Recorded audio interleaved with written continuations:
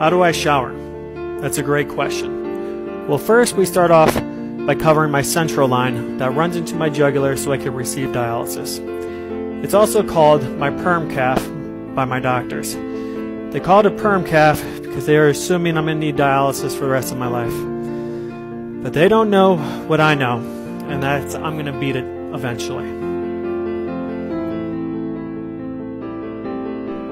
Next, we pretty much repeat the same procedure for my midline and my superficial line on my arm.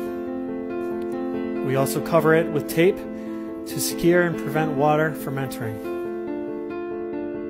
Now, does this kind of suck? Sure. But are there plenty of people that have it worse than me? Absolutely. Am I still extremely grateful for life? You better believe it.